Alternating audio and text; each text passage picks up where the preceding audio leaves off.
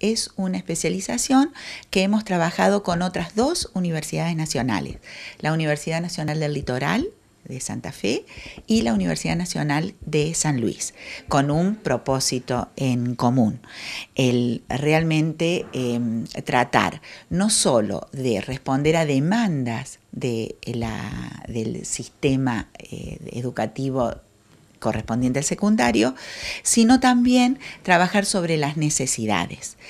Y la otra eh, característica em, que la consideramos como muy importante es en lo que corresponde a la dimensión curricular de la especialización.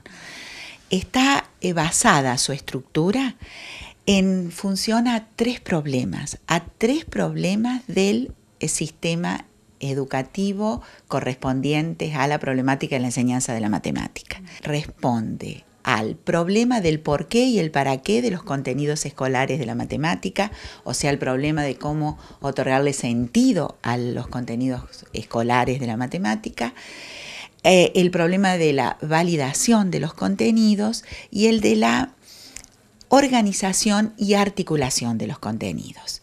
Es un armado curricular eh, diferente, lo cual hace de que la organicemos en tres semestres, uno para cada eh, problema. Eh, con la idea de iniciarlos ahora en el segundo semestre del año 2016 y por ende terminar su cursado a fines del 2017.